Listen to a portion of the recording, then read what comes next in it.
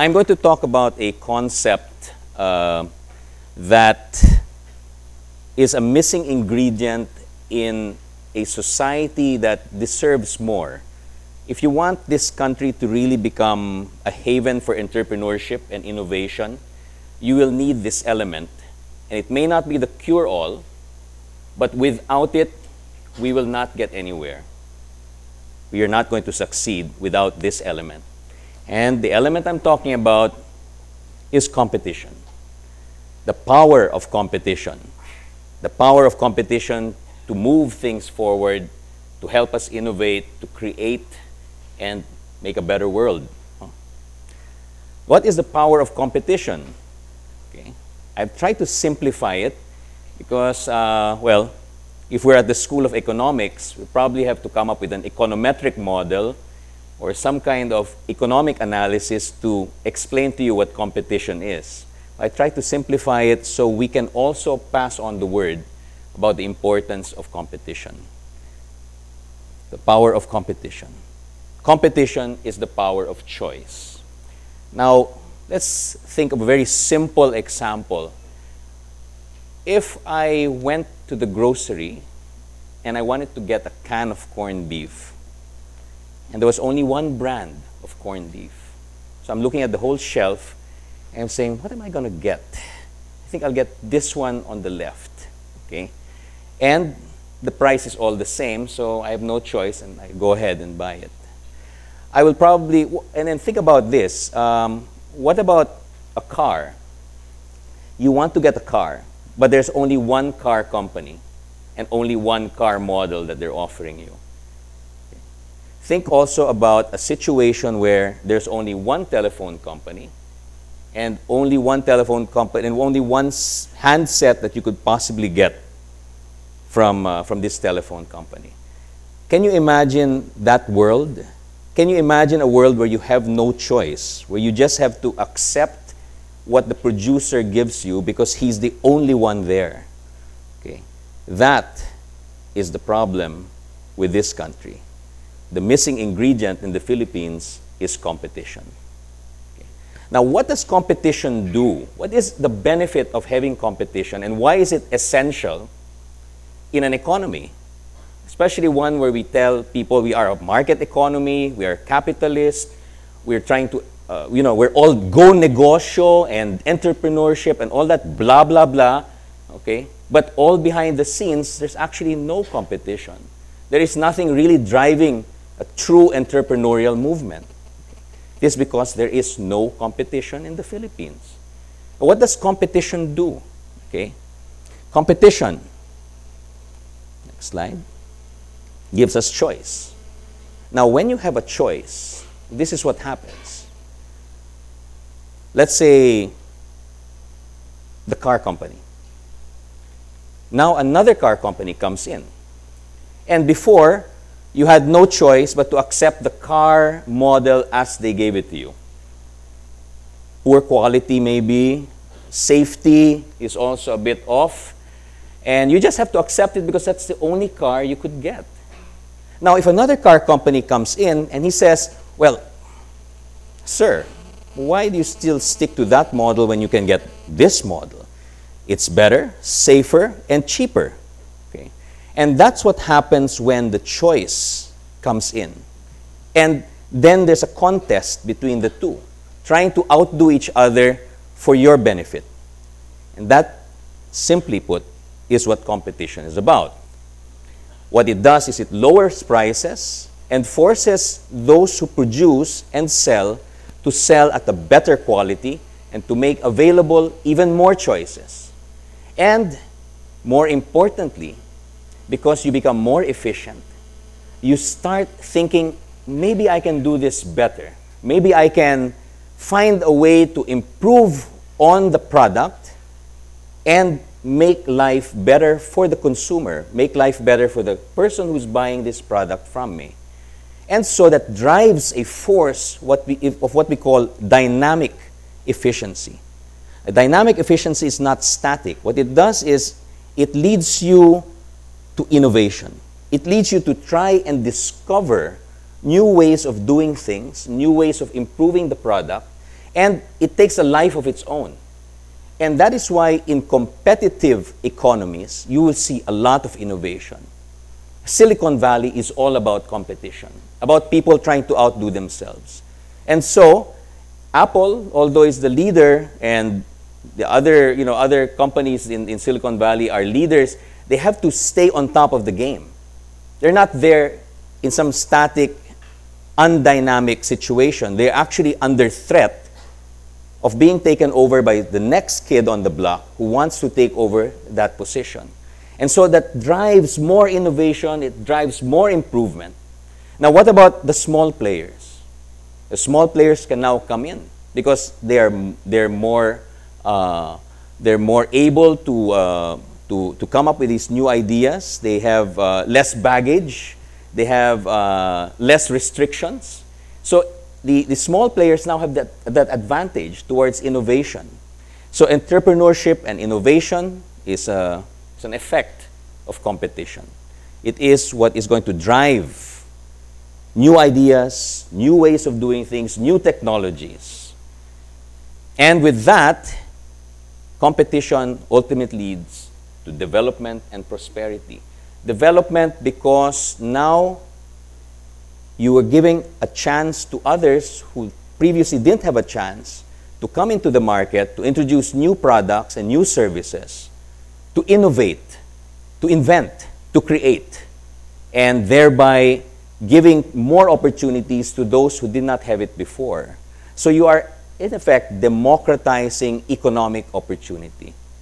And prosperity is now available to anyone who's willing to go into this competitive situation and produce something new and something exciting, something that will attract the consumer to your product.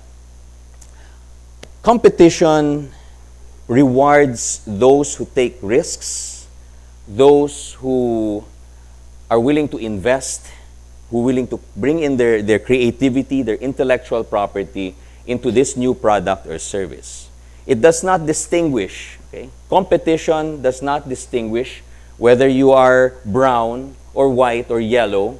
Okay? Does not does not ask what family you're from. Okay? Or that you're an A-lister or that you're on Tatler. Okay? It doesn't ask that. Competition rewards those who are willing to get into competition.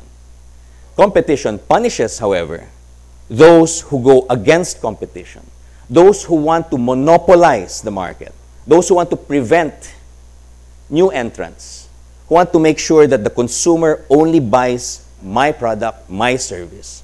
And I'll do everything within my power to do it. Competition punishes those types. And that's where we get to the problem and the challenge that I'm going to throw out to everyone here. Uh, I hope I'm not uh, boring you with this, with this topic. This is not a concept. This is not a theory that is confined only for, you know, to economists or lawyers or something that we're academically discussing. This is something that affects your very life. Your everyday life depends on this. And if you're wondering why this country is so effed up, it's because we don't have this. We don't have competition. What we have is anti competition. That is the name of the game in the Philippines. Anti-competition is the very business model that the most powerful firms, families, and individuals are using to accumulate wealth. Okay? Because if you look at the Philippines, we're not really a poor country.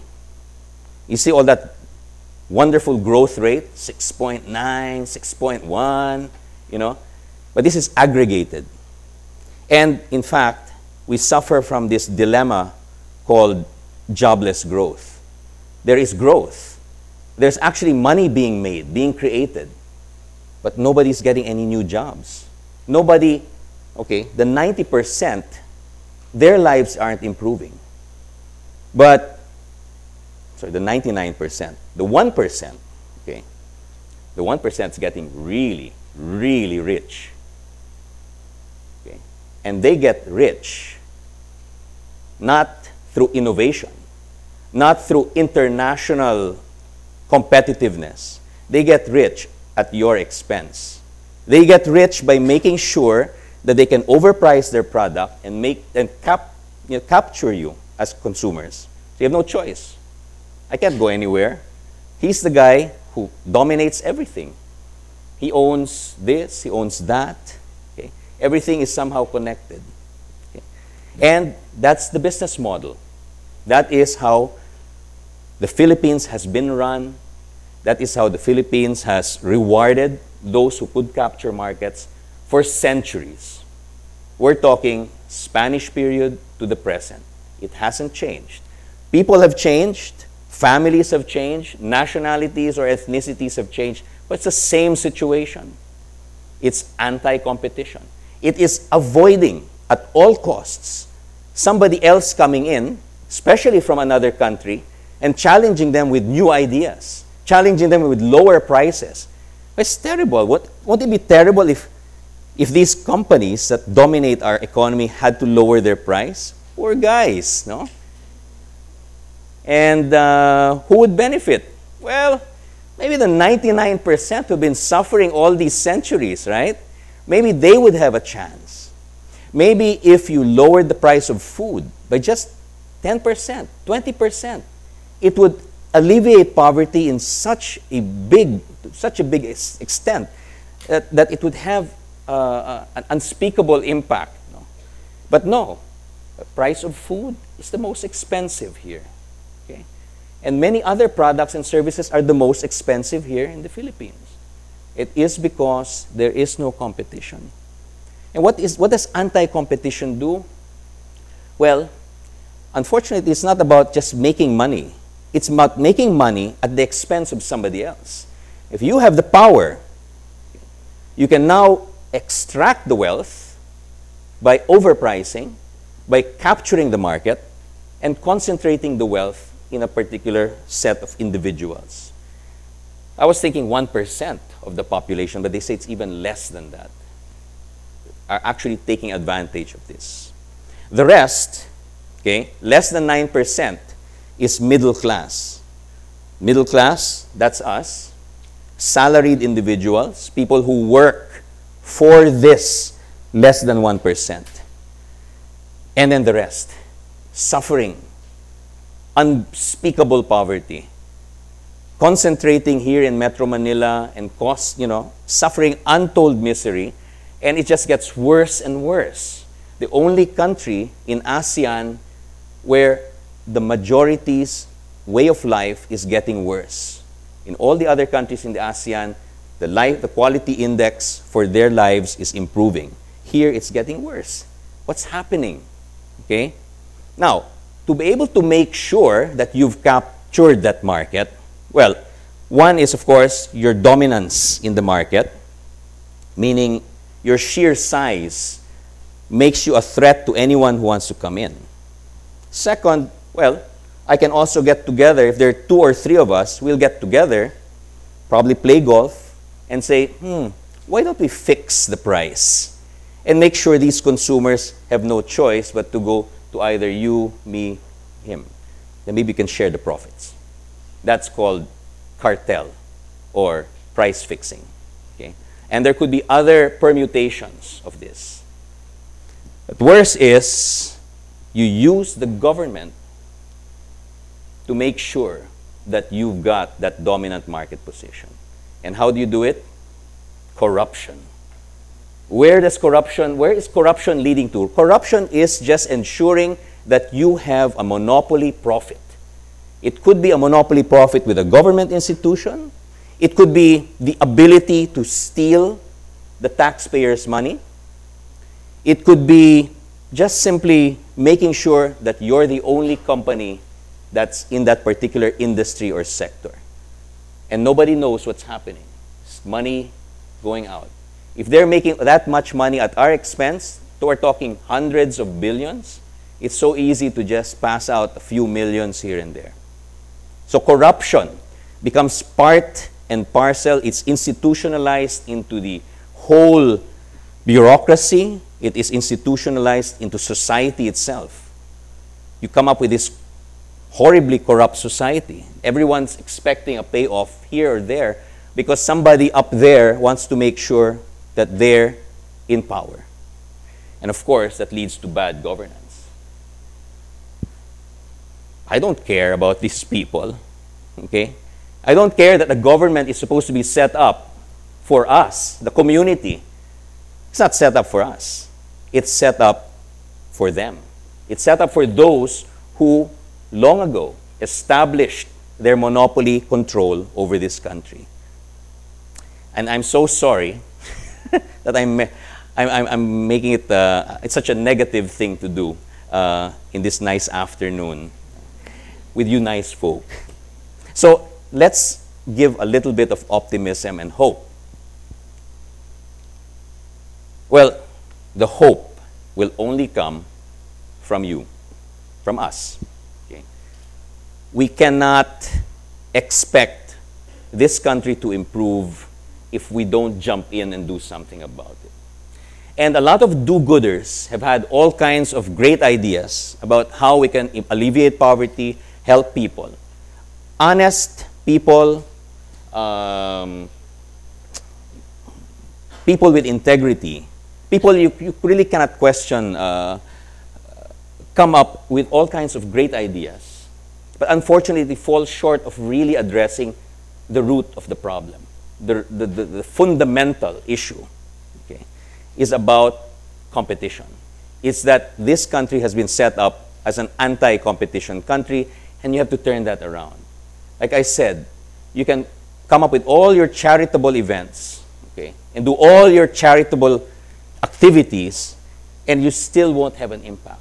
And chances are you would have gotten the charity anyway from the people who stole from us in the first place the difficult situation is, and I realize this, me as a lawyer works for them, you work for them, or your parents work for them, it becomes very difficult. You have to be very polite. And some of these people are actually nice people. Okay? When you talk to them, they're very personable, very nice.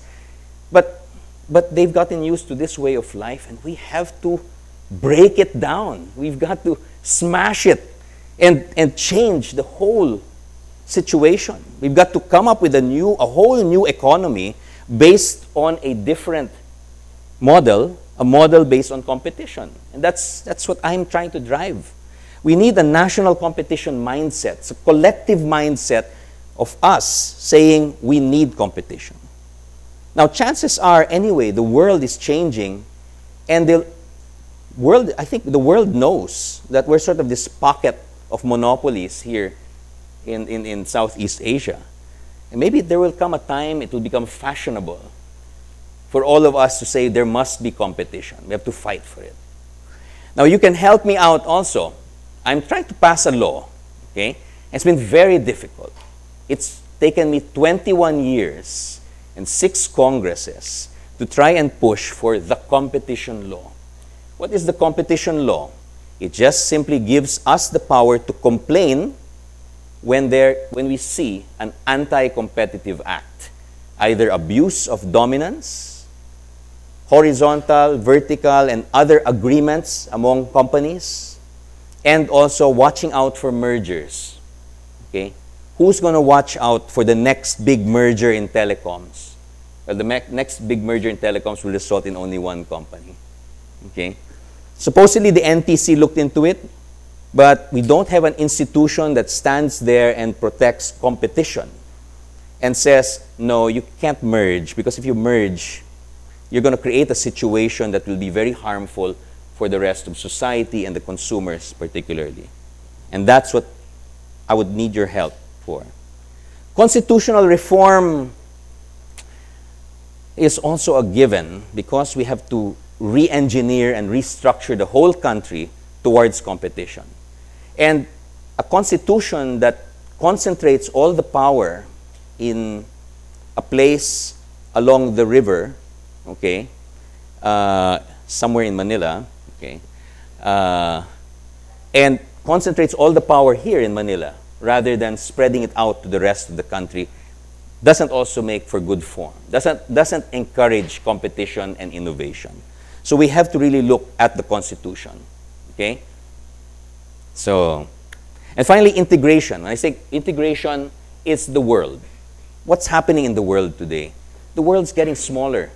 The world is getting, you know, is coming together. And we're, we're left out of it because we're, as like I said, a pocket of protection and mon- monopolies benefiting only a few people. Now, the chances are, chances are maybe if that AEC, the ASEAN Economic Community, kicks in, and other regional groupings and other means of integrating with other economies, it will highlight the dysfunctions of this economy. It will force more competition. It will allow us, gives, gives us some support for, for the revolution. So you have to go for integration. And, um, and I think that's it. So think about it. Think carefully about competition or anti competition situations in your everyday life. Be conscious of it. When you go, go to a store, ask yourself Am I being given a fair shake here? Am I given that power of choice? This competition is about the power of choice. It's simplified, but you see the power of this concept, what it can do, what it can harness. And I'm looking forward to the new world. I hope I can still live to see it. The new world, uh, the new Philippines, driven by competition, powered by innovation and creativity by you, the next generation. Okay. I am Tony Abad, and I am for competition and integration and a bright new world. Thank you.